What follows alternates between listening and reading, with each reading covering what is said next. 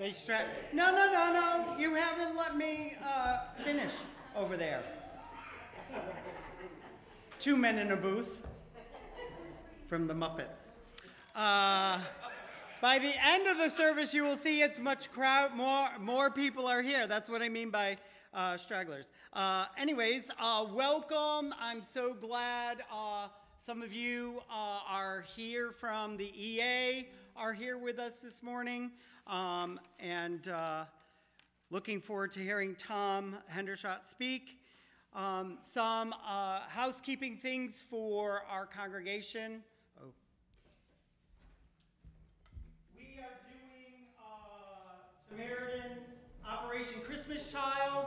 If you didn't uh, pick up your boxes uh, to fill, there are unfolded ones in the narthex on either side. Please take one up uh, pick one up on your way out. Friday, 10 a.m. is Four Corner Circle. Uh, Four Corner Circle is the women that do the quilts uh, for all our visitors this morning. Um, and um, Saturday is from 4 to 6 p.m. If you have kids or kid at heart, come on down for our trunk or treat. It's from 4 to 6 p.m. on Saturday. Um, and I think that is all our announcements for this week. Oh, Saturday, 7.30 in the morning, men's breakfast. Uh, please come out. We have such a great time with one another. So as we prepare our hearts for worship, let us hear the words from Paul to Galatians. I have been crucified with Christ. I no longer live, but Christ lives in me.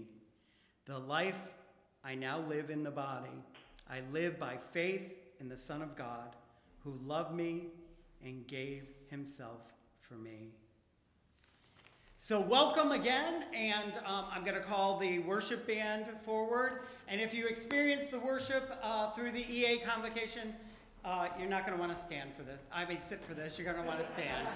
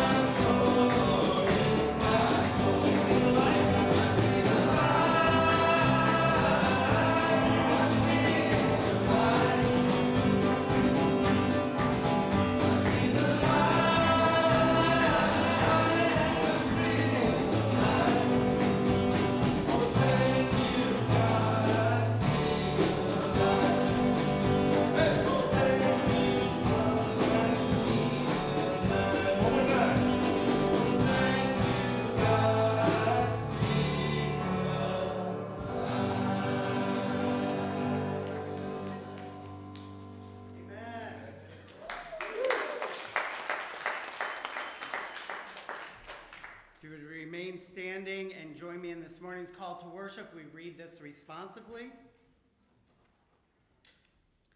Praise be to God and Father of our Lord Jesus Christ, who has blessed us in the heavenly realms with every spiritual blessing in Christ. For he chose us in him before the creation of the world to be holy and blameless in his sight. In love, he predestined us for adoption to sonship through Jesus Christ, in accordance with his pleasure and will. In him we were also chosen, in order that we, who are the first who put our hope in Christ, might be for the praise of his glory. So let's continue praising the Lord with our next song, Who You Say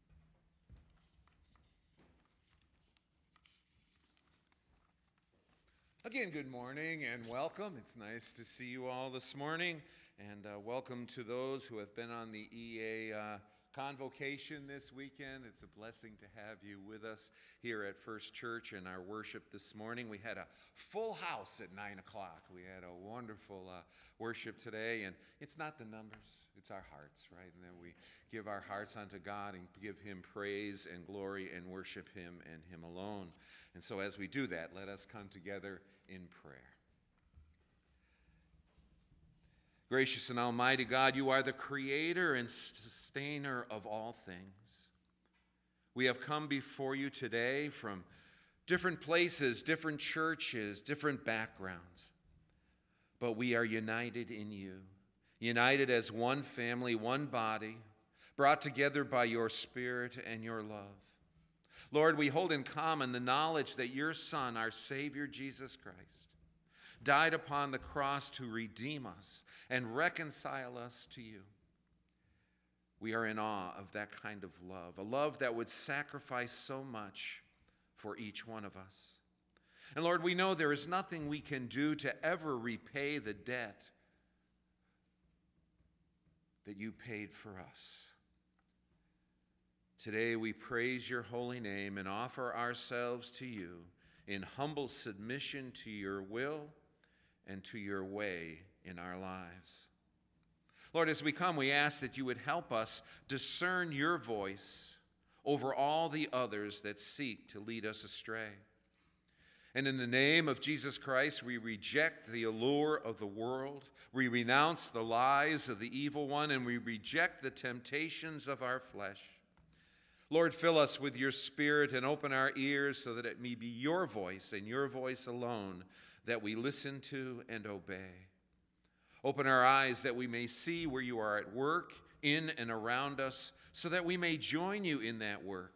And so, Lord, bring hope to the hopeless, freedom to the captive, and healing to the brokenhearted.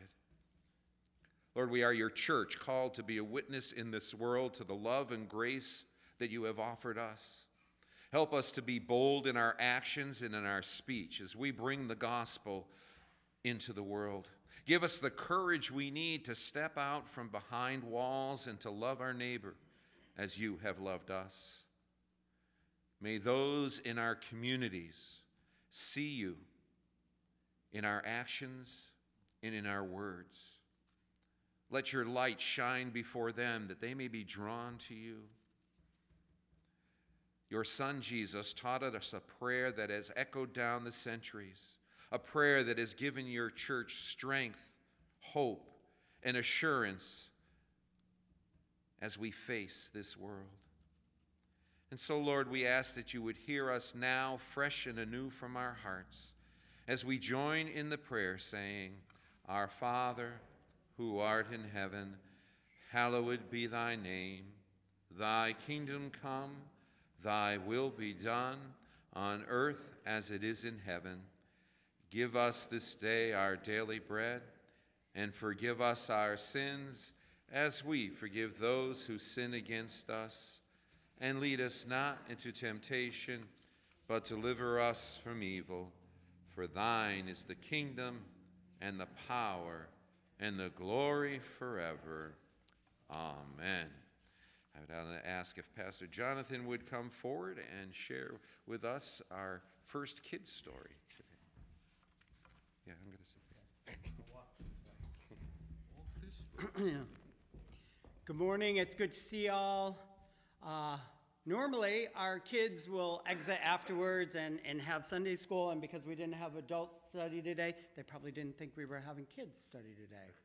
But uh, we're called to come as children to Christ anyway. So we have been studying in uh, our Bible adventures, we have been studying all about numbers that we see in the Bible.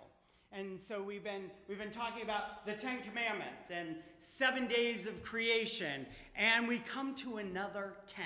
What? There's another 10, Pastor Jonathan? Yeah, there's lots of 10s. And there is I was trying to think of an illustration that would go with this text, and I could only think of something when I was growing up, and I used to wear a lot of turtlenecks. And um, as a little kid, you know, you're anxious, you get home and you're ready to pull it off and you pull it. Mom! Your head's stuck in the turtleneck. And so you go, well, what's the problem? And so you, I go to my mom and she works it off, you know? And then I just grab my sweater and go away. What's the one thing I didn't do? Thank her.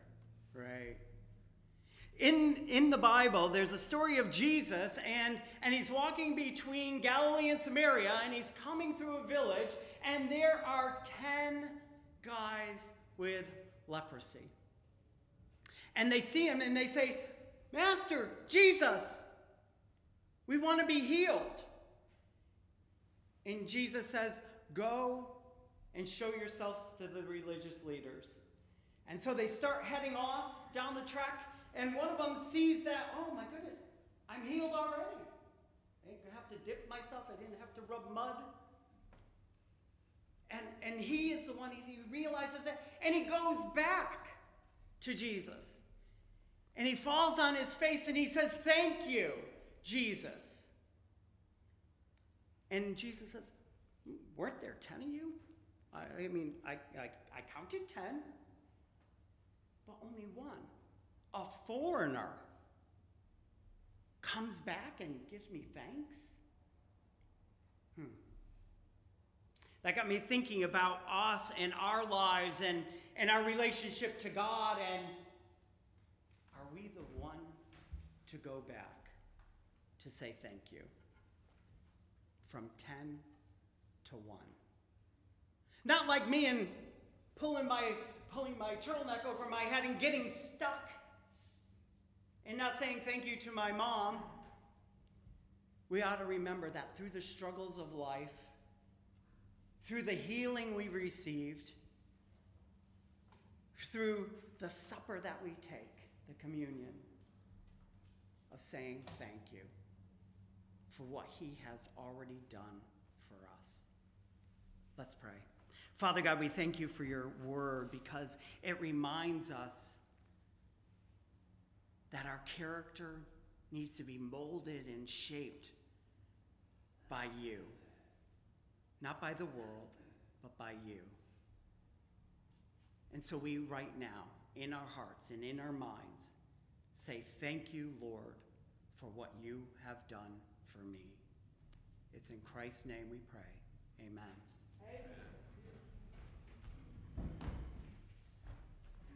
Thank you, Pastor Jonathan, for your words this morning of always giving thanks. You know, oftentimes we hold our thanks to the point when we get something good. Right? You know, we say, okay, God, this is what I want, and He delivers, and we go, yes, thank you, Lord. But what about those moments He doesn't, we don't get what we want? Do we still thank God for God, for who He is, what else He is doing in our lives? You know, it's hard to wake up on a, on a Monday morning and it's dreary and raining, and you, you know, you, like, oh, wow, look at the weather outside. Those bright sunny days we get up and we look outside thank you lord for this day. But on the rainy days giving god thanks for he's given us another day which to worship and to walk in his will and way. So always give thanks for him. God has proven faithful time and time again. He has answered prayers. He has healed. He has encouraged us and strengthened us. He has blessed us as churches as his children. And so we go to him time and time again in prayer. And so we're going to bring our petitions and praises to him now. So would you bow your heads with me as we do so? Gracious and loving Father, we have gathered today as your people, the body of Christ. We've come to worship, we've come to fellowship, and Lord, we've come to pray. Lord, oftentimes we search in places we should not. We look to the world, we look to others rather than turning to you. So we ask you, forgive us. Forgive us for seeking, not seeking your face first. And with our heads humbly bowed, Lord, we, we give you our hearts. Our hearts that break under the heavy loads of each day. of the broken lives. And so we come seeking your healing. For you, Lord, have known our sorrow, our pains, and our struggles. And we come for healing, restoration, and the hope only you can offer. We thank you for your faithfulness. Thank you that you are there as our unchanging and merciful God that never leaves us or forsakes us. And so, Lord, in that assurance, we come before you in this moment of silent prayer, offering up the deepest concerns of our hearts.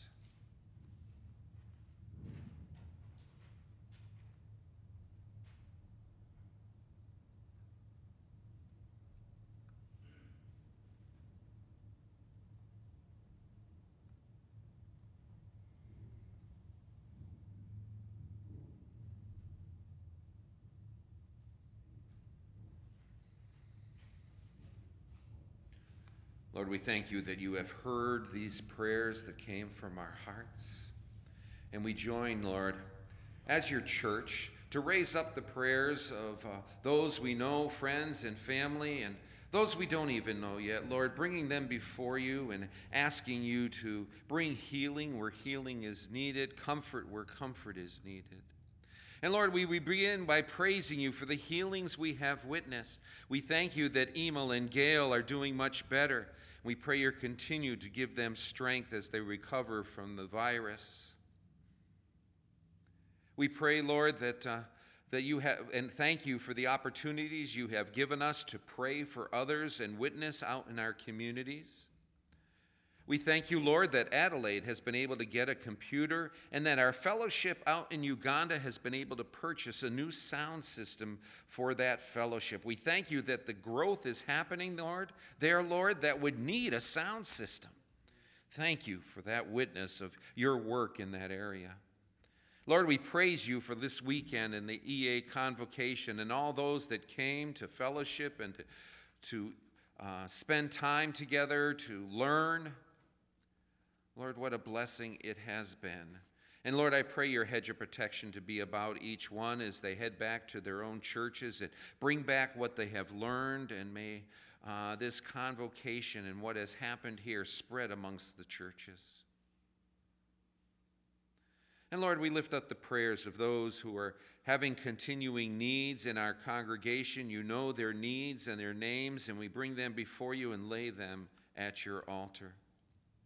We pray, Lord, for Dan and Kathleen and the cancer treatments they were going through, and that you would provide for them and encourage their hearts and strengthen them. We also pray for Kathleen Moe and Andrew Moe. Pray for Kathleen and the many health issues she has, and for Andrew as he goes through the uh, thyroid eye uh, treatments that he is having. Lord, we have lost a number of people in this past week.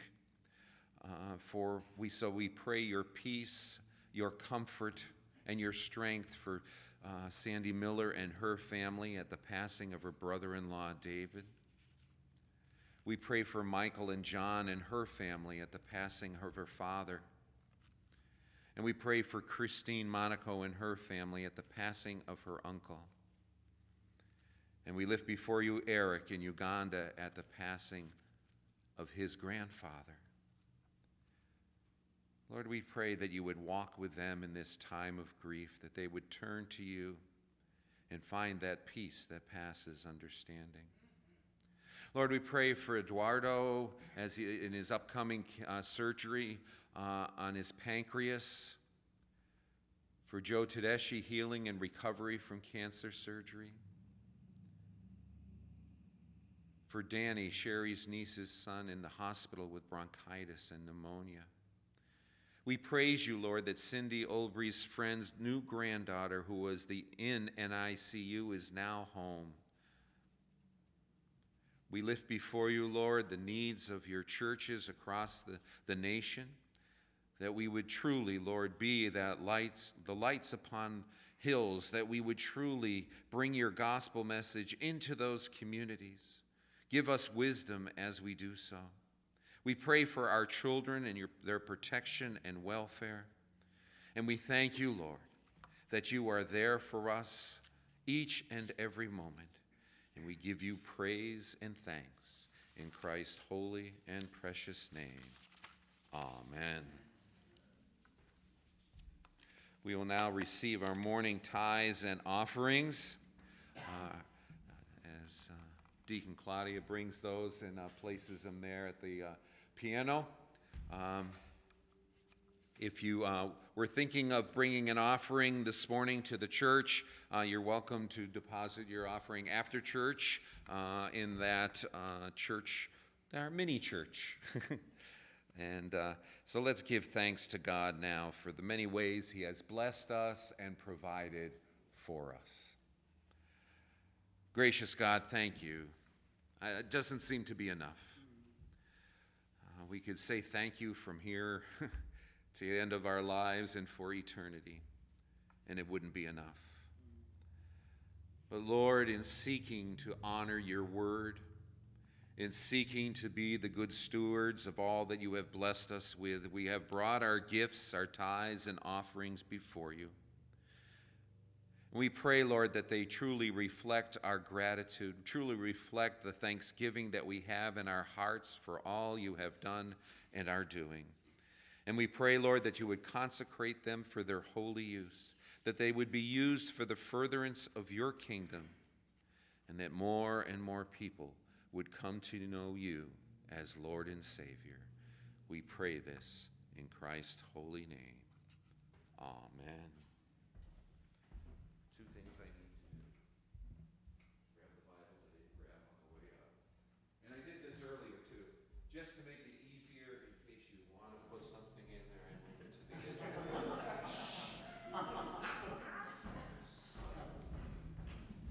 I know I'm bad. I shouldn't do things like that. So our scripture this morning is from 1 Peter chapter 2 verses 4 through 10. This is the scripture that the convocation was uh, centered upon. It has been something that we have been praying over and through uh, for the last two and a half years as we've prepared for this and gotten ready for it. And God, I believe, has honored that. Has been a wonderful time together. And so, uh, hear these words uh, from Peter. He writes, As you come to him, the living stone, rejected by men, but chosen by God and precious to him, you also, like living stones, are being built into a spiritual house to be a holy priesthood, offering spiritual sacrifices acceptable to God through Jesus Christ. For in Scripture it says, See, I lay a stone in Zion, a chosen and precious cornerstone, and the one who trusts in him will never be put to shame. Now, to you who believe, this stone is precious, but to those who do not believe, the stone the builders rejected has become the capstone, and a stone that causes men to stumble, and a rock that makes them fall. They stumble because they disobey the message, which is also what they were destined for. But you are a chosen people, a holy priesthood, a holy nation, a people belonging to God, that you may declare the praises of him who called you out of darkness into his wonderful light. Once you were not a people, but now you are the people of God. Once you had not received mercy, but now you have received mercy. May the Lord bless the reading and hearing of his holy word.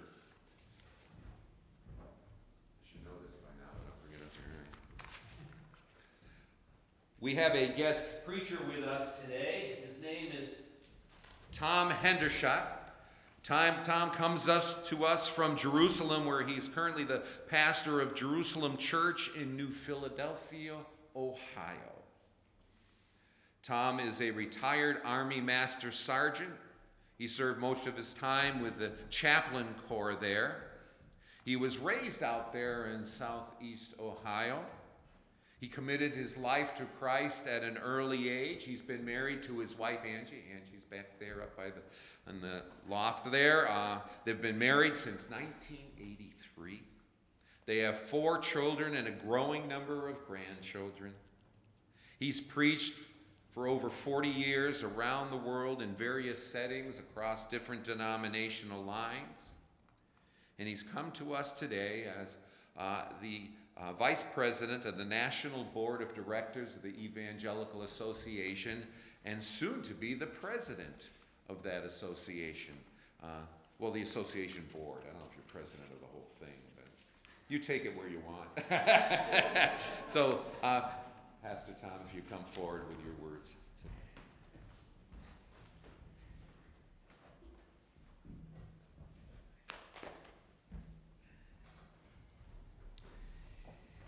Well, you heard him say, I can take that where I want, right? So we'll go with that. Uh, I tended to travel a little bit this morning and got too far away from the microphone, so I'm going to hold this one uh, today. That way, as I go on my strolls, I'll be all right. Am I okay back here? Yes. Okay, good.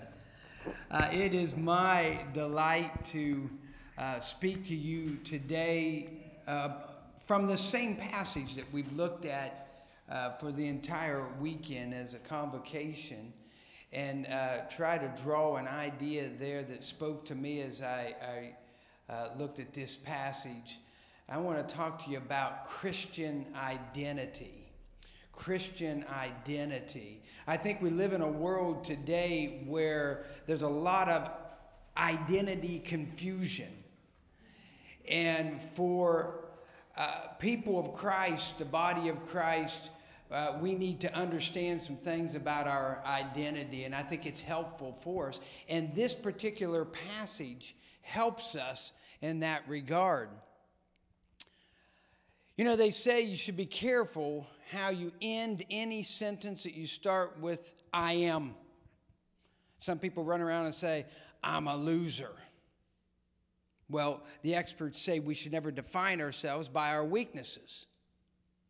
Others will come along and say, I'm the pitcher for the Houston Astros, who will probably win the. Oh, never mind. Did I go off into heresy or something? Okay. Uh, I'm the pitcher for the Boston Red Sox, who will probably win. Who am I if I can no longer pitch? So my identity can't rest in my weaknesses, it shouldn't. And it can't rest in my accomplishments. My identity has to be grounded and founded and rest in something deeper than that. And this passage in 1 Peter chapter 2 for the believer helps us establish and uh, become grounded in what our identity is. In the West, self definition typically begins with the I statements. In other places of the world, it's the we statement. We. Uh, in some places of the world, it's all about who your father is. And we see all of this in the Bible, really. Jesus was called Jesus, the son of Joseph. Jesus, by trade, the carpenter's son. Jesus of Nazareth, where he, uh, his location, uh, where he came from. We also find Peter's called Peter, the son of Jonah.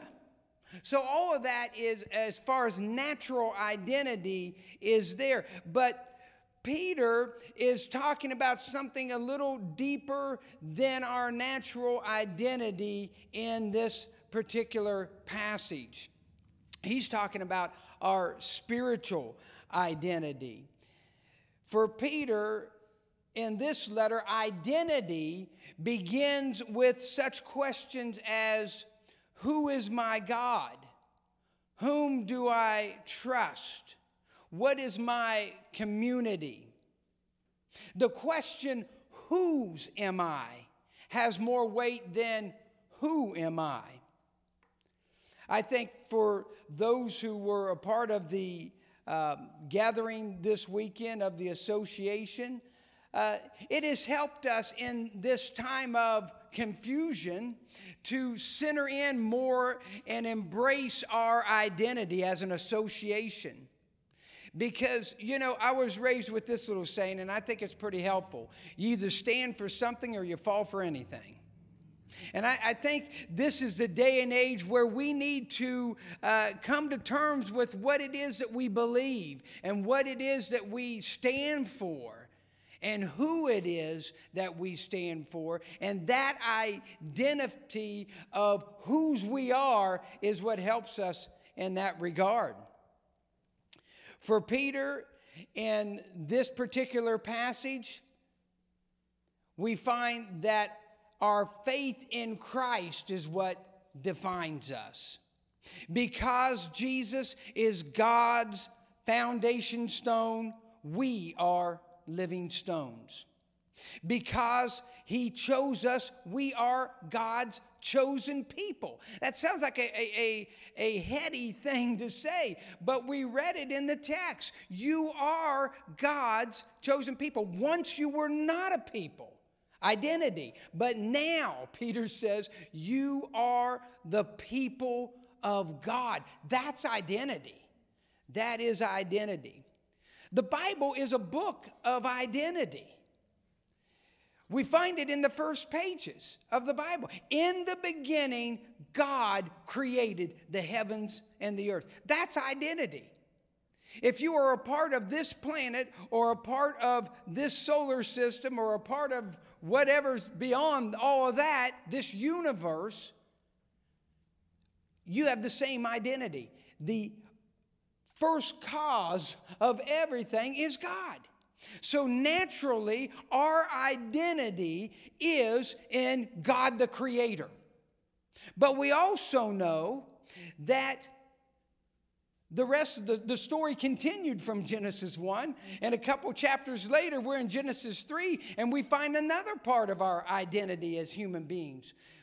Adam and Eve in the garden created an, an, an innocent obedience, moved over to a place of willful disobedience, and embraced a new identity as part of a fallen universe, a fallen planet, a fallen race. And every person who's ever been born of Adam and Eve has that moral identity as part of a fallen race. So we know naturally we're part of God's creation. We know morally we're part of a fallen race. But that's not the end of the story. Look at somebody beside you and say, I'm glad that's not the end of the story. Peter said, God in his mercy, when you were not a people, God in his mercy sent his son and he redeemed us. He, re, he redeemed us. He gave us new purpose for life. He gave us significance. He gave us security. And He gave us a new identity in Jesus Christ. So for Peter, the question is not so much who am I, but whose am I? And that's the question that is relative and, and matters for each and every one of us today. That identity. We know that as time went on, humanity slipped further and further away from God. Paul talked about it in Romans chapter 1. I read a couple verses from there. He said, For although they knew God, they neither glorified him as God nor gave thanks to him, but their thinking became futile and their foolish hearts were darkened. Although they claimed to be wise, they became fools. And he goes on to say that they, they exchanged the truth about God for a lie and worshiped and served created things rather than the Creator who is forever blessed. Amen. Paul is saying they lost their identity as people who were made in the image of God. And, and this devolved lower and lower and further and further away from God. And when they lost their identity as created by God in the image of God, they lost their meaning for life.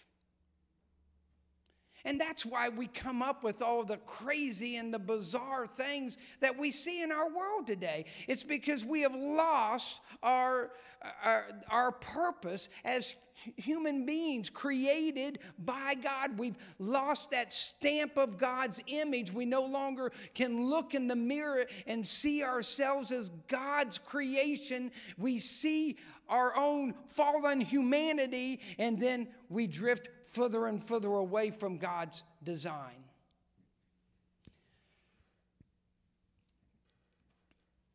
But Peter says, as you come to him, the living stone, you also, like living stones, are being built into a spiritual house to be a holy priesthood, offering spiritual sacrifices acceptable to God through Jesus Christ. So, according to Peter, all that we are rests on all that Jesus is. If we come to Christ, the living stone, we become living stones. Jesus is the cornerstone, and God builds us into a spiritual house that rests on Him. Because Jesus is God's chosen one, we are now God's chosen ones. So, becoming one with Christ, coming to Christ, changes our identity. Seeing Jesus rightly causes us to see ourselves as God intended for us to be. Peter knew this firsthand. Anybody remember his story as told in, in Matthew 16? Jesus, they, they came through the shores of Caesarea Philippi, and Jesus asked them, Who do men say that I am? And they gave him all the latest reports. CNN says he's Jeremiah come back from the dead. MSNBC says he's Elijah or one of the other prophets. All of them had it wrong. Peter said, Jesus asked, Who do you say that I am? And it always comes down to that. It must always come down to that regardless of what anyone else is saying. Who do you say I am? Peter says, You are the Christ, the Son of the living God. And Jesus immediately says to him, Flesh and blood has not revealed this to you, but my Father in heaven. And you are Peter. And on this rock I will build my church, and the gates of hell will not prevail against it. You see, it was when Peter recognized the identity of Jesus, that Jesus uncovered his identity to him. It wasn't enough to label Jesus with all the greatest names of their religion. Peter needed to know him by his Spirit as his Lord and Savior. Flesh and blood has not revealed this to you. It wasn't enough to learn about Christ. Peter needed to experience Christ firsthand in his heart, personally. Come to him. Coming to him. And you know, the same thing is true for each and every one of us today. It's still, it's still the truth. Our identity is discovered in Christ as the association that we've uh, gathered as over the weekend, our identity can never be based on anything that the fallen culture around us tries to dictate or deems as wise and deems as relevant. Claiming themselves to be wise, they become fools. It must be on Christ, the Son of the living God. It must be based on the revelation of the truth of His Word and the confirmation of His Spirit. You see, He's the living stone. That means a stone that's uncut. uncut by human hands, not a stone that's, that's been taken out of the quarry and cut and shaped and made to fit according to human standards. He's the living stone, uncut by human hands. We can't make Jesus into something else. And that happens a lot today. Can I get an amen, anybody?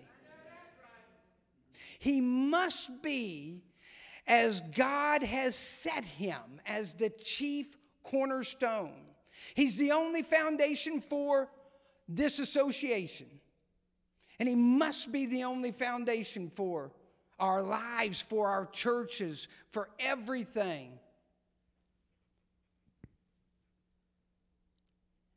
And I want to say to each of us as individuals, our identity is in Christ, Christ alone. On Christ, the solid rock I stand. All other ground is sinking sand. See, we are born from a fallen race into a fallen world with a distorted identity.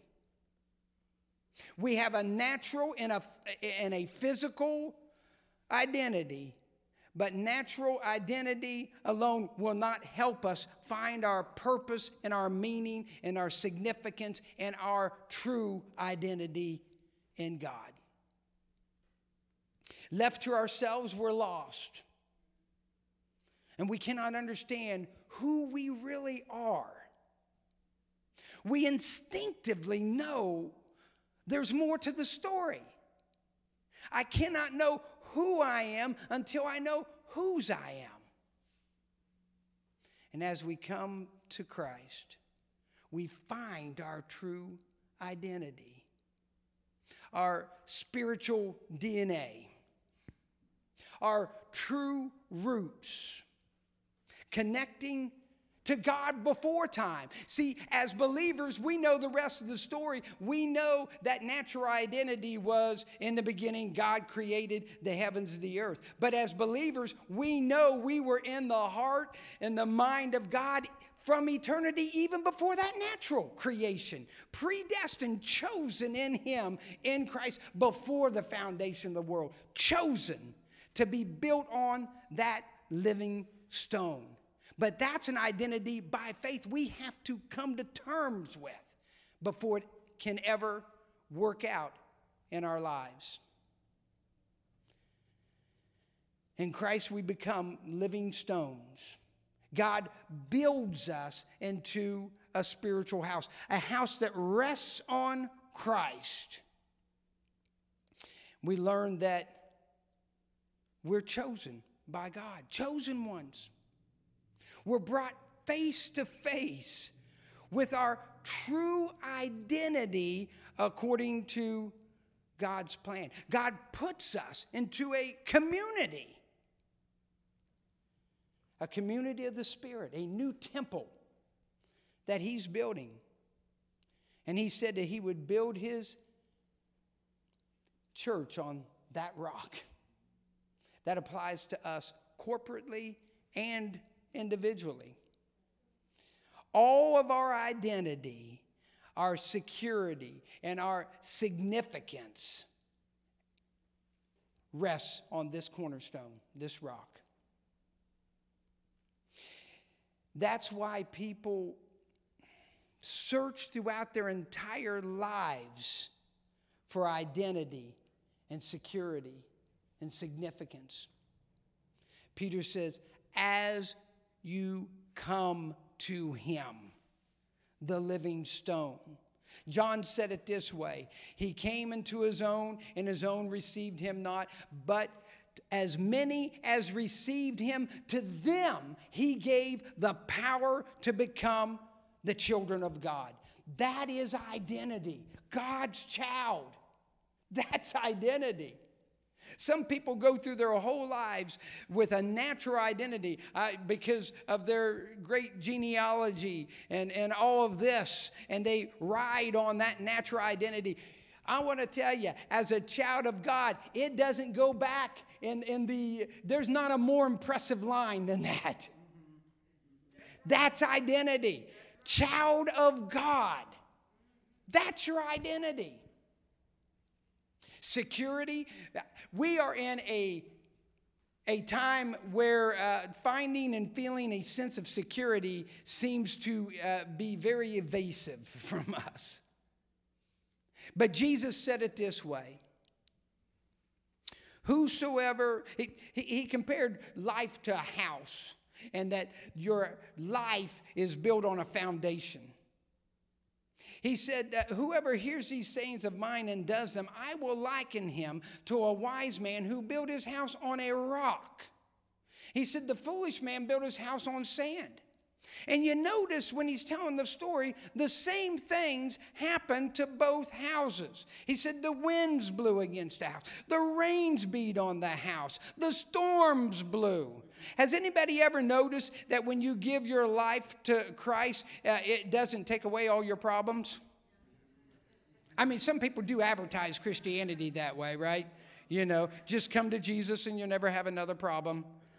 I, I guess I got the wrong message there or something because, in fact, I got a few extra problems I didn't have before. So I really missed out on that one. Whew.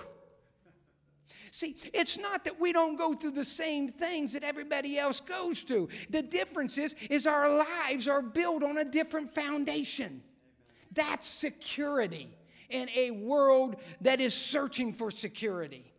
And that's what you have as a believer, as a child of God, if you embrace that identity, that spiritual DNA. Significance?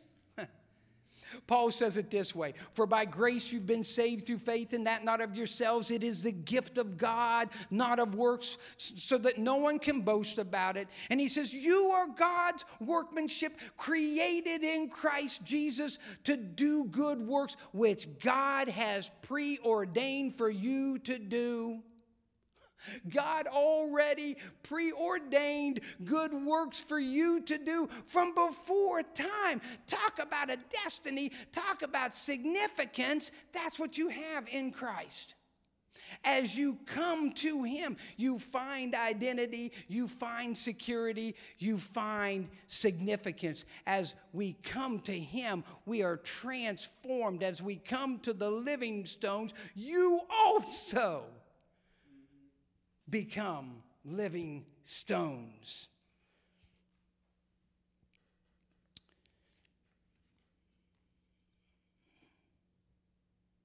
I'm having so much fun, I don't know where to quit. As living stones, we're part of the building. As priests of God, we're part of the program. And that's what Peter's saying in this text. And, and, and he says that we are to offer spiritual sacrifices. I love this, this part here, because you think about that. I used to love to study the tabernacle and, and all of that from the, the Old Testament and all that they did in the temple and the tabernacle and, and all the work of the service. And it's all wrapped around dead sacrifices. Anybody notice that? But Paul says to us, we are to present our bodies as living sacrifices. Living sacrifices. In other words, you come to the living stone, he makes you into a living stone, and you begin to live a life with meaning and purpose and significance because you have a new identity. Amen, anybody? Living stones and we offer spiritual sacrifices. I suppose my favorite verse for this is in Hebrews 13, verses 15 and 16. It says that we come offering spiritual sacrifices to Him, that the fruit of our lips. Did anybody do that today in worship? Offer to Him a living sacrifice of the fruit of your, your lips, a spiritual sacrifice. But so I, I break this down into two different categories your words and your works. The things that you say become part of your sacrifice, your spiritual sacrifice in this new priesthood. In this new priest, you realize that you are a priest of God if you're a believer, right? Better look at somebody beside you and say, I think he's talking about you. You are a priest of God. And you're offering spiritual sacrifices, your praise to God, your witness, your testimony. These are spiritual sacrifices and they make a difference. Always look for that opportunity. Realize that you are in the priesthood as a believer. That's what Martin Luther said. I mean, we're Protestant, we believe in the priesthood of believers, right? Right? So, so we're all priests of God. Go through your day. I just challenge you to do this. Uh, try it for a week and see if you like it, and it might stick, right? Uh, go through your day looking for where I can uh, serve God by spiritual sacrifice, by something I say or by something I do. He also says in verse 16 there of Hebrews 13 that it's by our good deeds. Don't ever think that your good deeds don't matter. They matter because you're part of this priesthood, of this new temple that God is building through time. Founded and grounded on Christ, the chief cornerstone, you and I also are living stones. So I encourage you, if you were here the whole weekend, I encourage you to take everything that you have received from God this weekend and live it out. Recognize your amazing identity in Christ as a living stone, and let's make a difference in our world. Earlier in this message, I mentioned Peter's thoughts here were along the lines of Who is my God? Whom do I trust? What is my community? I want to remind you of verse 4 as we close this out today. As you come to Him, the living stone, as we come to Him, we acknowledge that He is our Lord and our Savior. He's my Lord, John, Jonathan. He's my Lord. He is Christ, the Son of the living God. And I make that confession with, with Peter. I put my trust in Him. And this connects me with others of like precious faith. In the community that God is building, the new priesthood called the church, the people of God, the new temple. As we close in prayer today, and as you listen online, perhaps you've never come to Him in this way. Peter said, This stone is precious to those who believe. I encourage you to come to Christ. Open your heart to Him. Receive the gift of God. Connect to life Himself the living stone. And I promise you that you'll never be the same. Never be the same. God bless you. Let's pray. Oh, gracious Father, we come to you through Christ our Lord.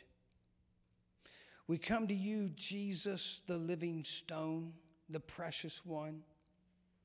We thank you, oh God, for, for making us and the living stones in the, the new temple you are building.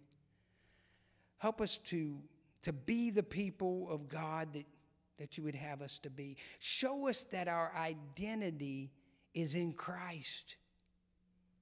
That you, you've made us into a chosen people, a royal priesthood, a holy nation, God's special possession that we may declare the praises of the one who called us out of darkness into his wonderful light.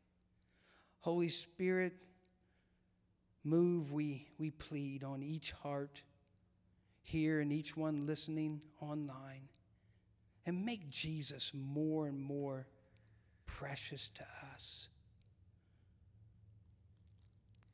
And to those who've never fully trusted in Christ as their Savior, Lord, we, we ask you to, that you would call them into this glorious company of faith now and show each one of us how to live more faithfully for you in this time. In Christ's precious name we pray. Amen.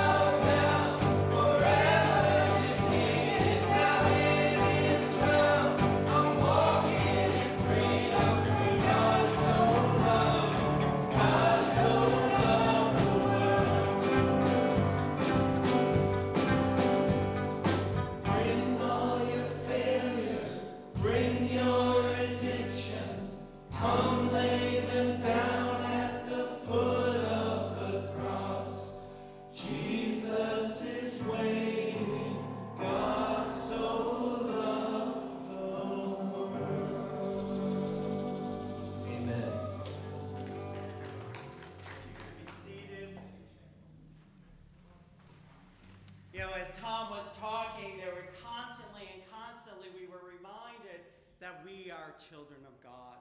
It reminded me of this story. I, many of you don't know that I, I taught in New York City for quite a while, taught marketing, and I would travel from here down there.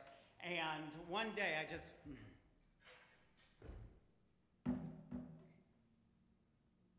I had a gloomy day.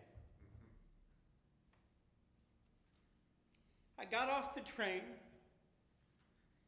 and I'm just walking to my office doing the normal thing. And then I heard a worship tune.